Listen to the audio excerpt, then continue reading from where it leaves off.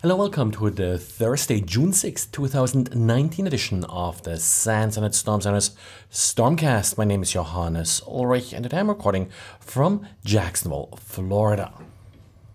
Google came out with its monthly update for Android. We got a total of 22 vulnerabilities uh, being fixed here, eight of which are critical. Now, out of these eight critical vulnerabilities, three are again in the media framework.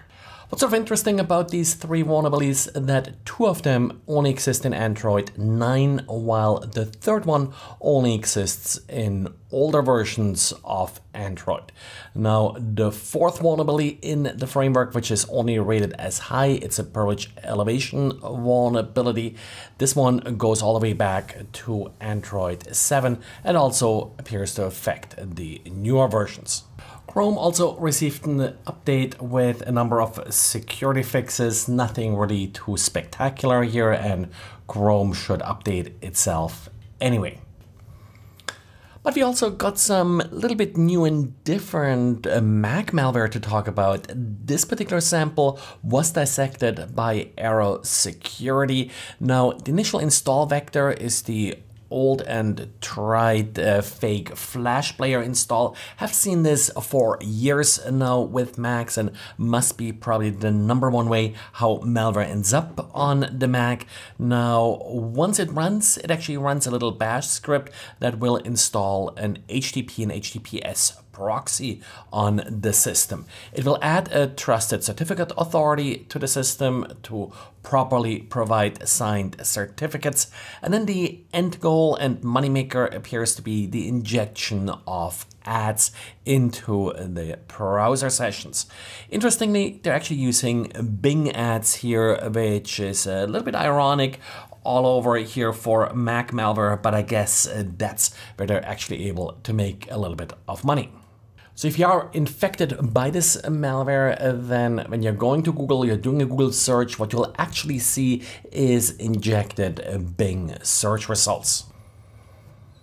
And we got an interesting but not very severe vulnerability in Kubernetes. Uh, this one affects kubelet uh, version 1.13.6 and 1.14.2. The problem is if you're not specifying an explicit run as user, it will run as UID0 or as root when you are restarting the container. If you did set up a user in the container image manifest, this will essentially be ignored.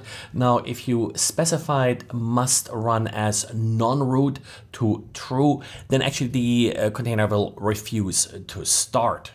A patch doesn't appear to be available yet, but it may have changed by the time you listen to this, so double check this. For now, you can just specify the run as user directive, or you can say must run as non-root to true. If you do that, uh, then, well, if you are affected, the container will not run at all. And in some cases, this may be preferred. And it shouldn't come as a big surprise that the bad guys, well, uh, they are not necessarily that great at secure coding either. And Akamai looked at a few phishing kits and found that many of them suffered from simple file upload vulnerabilities. The problem here is that many of these phishing kits want to make it easy for the attacker to update the various pages that are used to emulate the site being phished. Well, in this case, they implemented simple upload uh, functionalities that do not sanitize the path. And as a result, attackers will be able to actually upload arbitrary files into arbitrary locations on the system, being really only restricted by the server's permission. Now, on the other hand, the fact that a particular website is being used as a phishing site often indicates that they already have some basic vulnerabilities, seeing a lot of sort of WordPress and Drupal sites being abused this way. So this may actually not add that much of an additional vulnerability, but in particular if it was a weak password or so, it actually happens that attackers will fix the vulnerability they used to actually attack the system to gain a stronger foothold in the system.